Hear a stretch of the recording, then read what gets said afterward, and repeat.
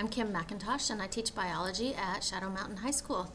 And today's presentation is about photosynthesis. Photosynthesis is the process by which plants and algae and some bacteria use the energy from sunlight and convert it into sugars that the body can use. And this is an extremely important process to life on Earth because all organisms get their energy from the sun. And they either do this directly from the sun, as in the case of plants. So these plants would be autotrophs. Autotroph means that it creates its own energy. Okay, so these autotrophs, they get their energy directly from the sun. And then there are other organisms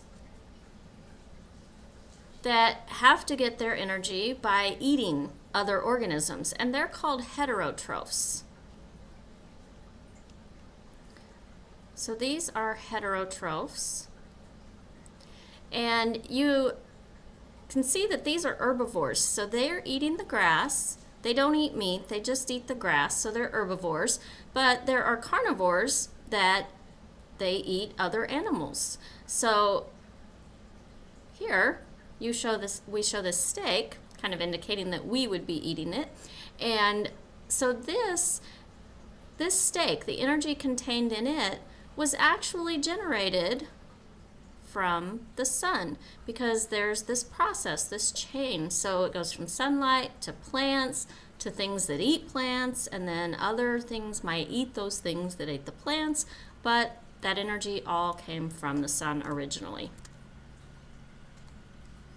Okay, so let's talk about exactly how this process happens.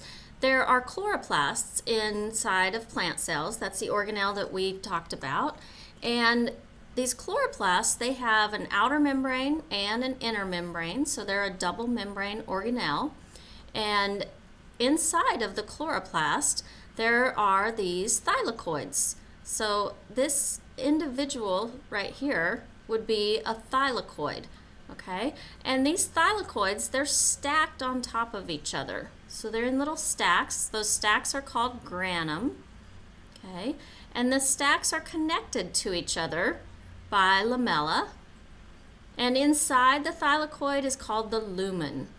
And then all of these granum are in a fluid that's called stroma, okay? So the chloroplast and inside the chloroplast, the thylakoid, that is where the actual reaction occurs, where the light is absorbed and the chemical reaction occurs that changes that light into the sugar that the plant needs.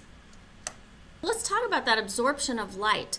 All right, so the plant, the chloroplast that's in the plant, it has pigments inside of it. And so chlorophyll absorbs some of the spectrum of visible light.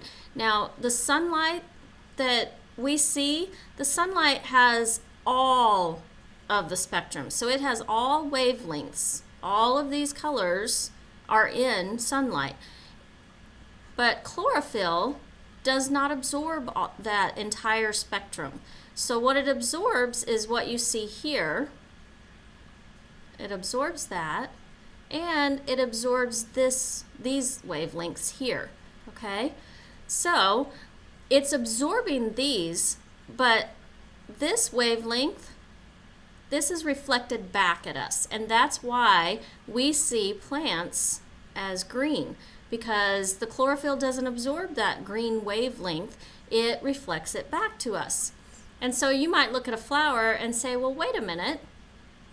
This is a plant and it looks purple to me. Well, the reason it looks purple is it has some different pigments in it, but it doesn't have chlorophyll in the petals of the flower. And so what you're seeing reflected back is this wavelength. All right, so the reaction of photosynthesis. There are three things that are absolutely essential to this reaction. There's light energy, so have to have sunlight. We have to have the carbon dioxide, and we have to have the water in order for this reaction to occur. Okay, so these are the reactants. Get my pen to work here. These are the reactants, and they're essential to this reaction. And then the reaction occurs as indicated by this arrow. And then over here we have the products of the reaction. And the products are sugar and oxygen. Okay, so the oxygen is given off into the atmosphere, but the sugar is contained in the biomass of the plant. So each part of the plant is made up of those sugars that are generated from this reaction. And we call that the biomass. It's basically just the matter that makes up the plant is the biomass. All right, so here's a more detailed image of that reaction, and this actually shows the, um, the balanced chemical equation. So we have six molecules of carbon dioxide, 12 molecules of water, and we have light energy. And the light energy is shown above that reaction arrow because light is not a molecule. Light is a wavelength, so it's not a molecule as we would see with carbon dioxide or water. So we can't really put it here on this side of the reaction. We have to put it above the arrow. All right, and then we have the products of the reaction. So we have one molecule of glucose is generated. We have six molecules of oxygen that are given off to the atmosphere, and then we also have six molecules of water that are generated by that reaction. And this reaction, this occurs in two stages. So we're looking here at the chloroplast, okay? So this is the chloroplast, and this entire reaction occurs inside of the chloroplast. And you might hear sometimes this is called light and dark reaction, but it's not because um, one of them occurs in the light and one of them occurs in the dark. It's really because this part of the reaction occur it depends on light and then there's another part of the reaction what's sometimes called the dark reaction that doesn't depend on light. All right, so what we have here is we have the water coming in, we have the light, we have the carbon dioxide, and inside of these thylakoids or grana, we have the light reaction occurring. And it makes what's called ATP and NADPH. And then it goes into something called the Calvin cycle, which is basically just occurring consistently. The ATP from the first part of the reaction and the NADPH of the first part of the reaction, they go into the Calvin cycle. And what comes out is we have an NADPH plus and we have an ADP plus a phosphate molecule, and we have that sugar molecule, which was the goal of the reaction. All right, there are some things that affect photosynthesis. So temperature has an effect on photosynthesis, and if you look at this graph right here, you'll see that the rate of photosynthesis depends on temperature. As the temperature goes up, the rate of photosynthesis goes up to a certain point, but then, you know what, if it gets too hot, what happens? The plant can't take it, and the rate of photosynthesis goes down. Okay?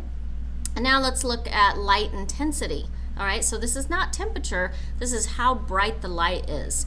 So the rate of photosynthesis, as light intensity increases, the rate of photosynthesis goes up, but only to a certain point, and then it levels off. So there's sort of this maximum rate of photosynthesis. Once that's reached, it just stays steady. It doesn't matter. You can keep increasing the light intensity, but you're not going to get an increase in, in the rate of photosynthesis after you've reached this level. And then on this graph, we'll see that um, how much carbon dioxide is available to the plant also affects the rate of photosynthesis. And it's a bit like light intensity. As that carbon dioxide concentration is increased, the rate of photosynthesis goes up, but only to a certain point, and then it levels off. And there's like a maximum threshold. Once you reach this level of photosynthesis, you're not going to get anything past that. But then again, it doesn't fall off either.